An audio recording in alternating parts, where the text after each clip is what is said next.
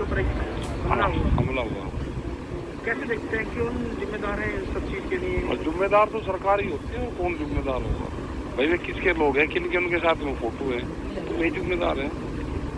वो विद्यार्थी परिषद है कोई इनका। तो उसके थे वे जो पुलिस ने बताया। हाँ।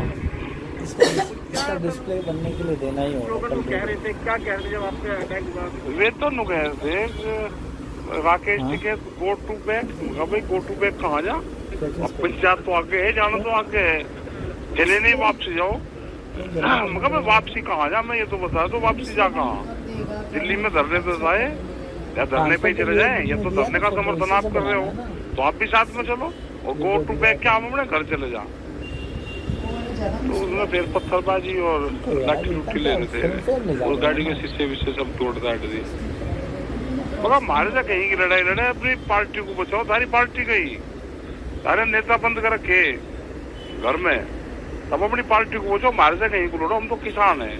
सरकार की पॉलिसी का हमारा विरोध है।